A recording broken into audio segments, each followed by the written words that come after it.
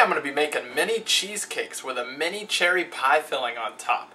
Now, if you're anything like me, you love cheesecake, and these are mini bite-sized ones that are sure to leave you, your friends, and family begging for more. Make them with me. For this recipe, you're going to want to get out two 8-ounce packages of cream cheese and two eggs, uh, at least a few hours ahead of time to let them come to room temperature, and the cream cheese will soften. This is always good advice for baking. Let your eggs and your butter and your cream cheese soften and come to room temperature. They'll mix better. First step, preheat your oven to 350 degrees. Alright, we need 12 ounces of crushed vanilla wafers. So, we gotta crush them ourselves.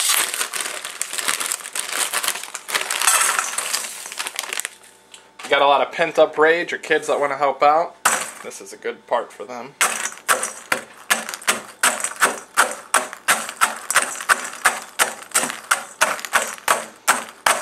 Alright, these are crushed enough for me. Um, ideally, you probably want to go into more of a powder. I just, I don't have patience for that. Then you need a mini muffin pan.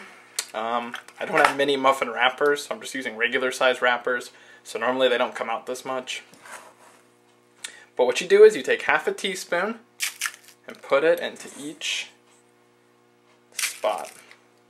And this is the crust of our mini cheesecakes.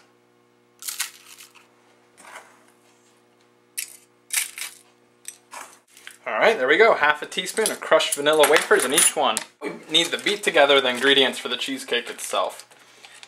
Put in your two packages of thawed cream cheese. Oops. Uh, I would get an icing spatula at this point to help with everything.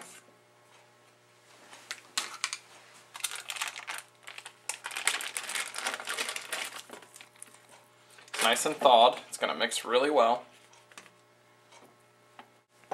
and 3 quarters cup of sugar.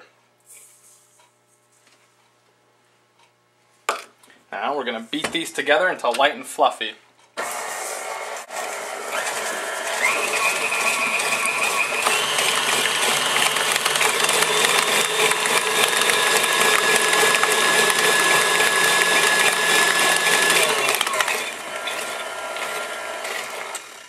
Okay, it's pretty light and fluffy. Now we need to add in two eggs.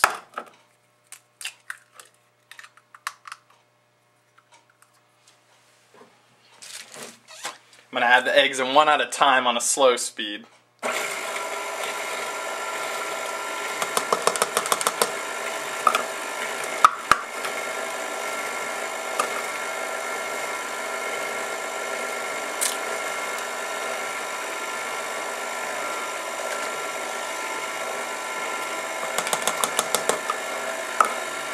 Once it mixes in, speed it up a little.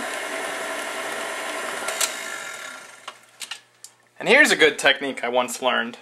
Um, periodically stop your mixing and scrape down the sides with your icing spatula. Because a lot of times your beater will beat them up on the sides and they don't mix anymore. So this helps ensure an even mix. It's a useful technique.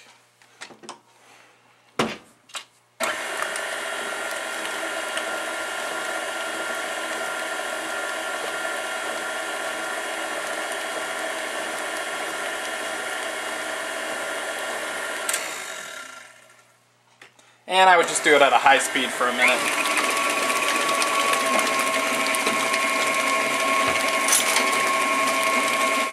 And now we need to add in a teaspoon of vanilla extract.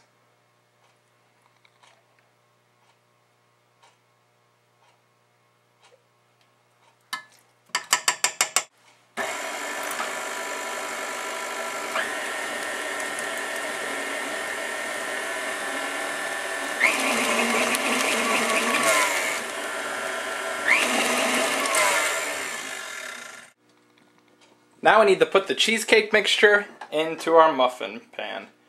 I'm going to use the tablespoon to fill it. It says fill each one almost to the top.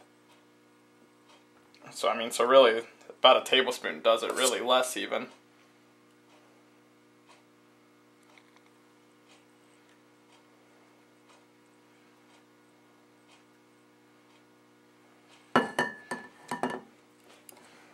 Now that we've got our mini muffins filled with the cheesecake and with the crushed vanilla wafers, we need to bake them in our oven at 350 degrees for around 15 minutes.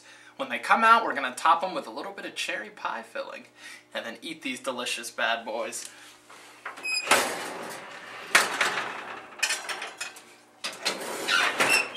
Okay, now that these have been cooking for 15 minutes, I'm going to get them out.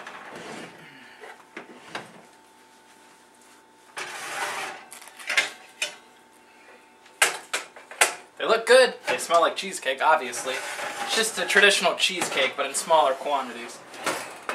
Find a container to put them in, and I would take them out immediately.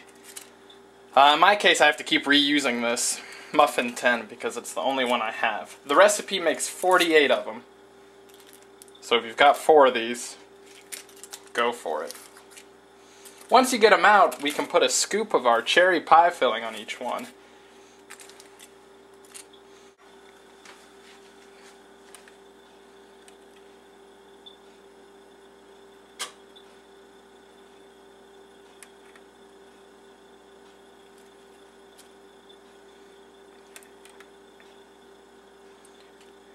It's a tedious recipe, but the results are really cool.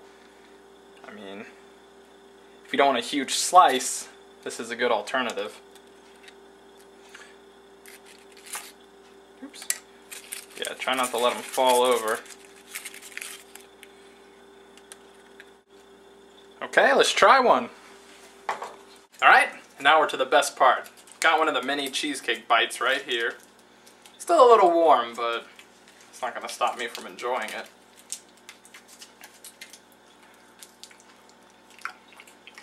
Mmm.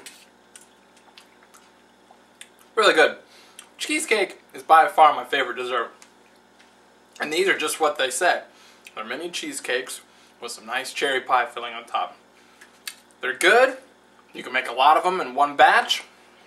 And they're fun to eat, honestly. So, if you want some nice, good mini cheesecakes, Look no further.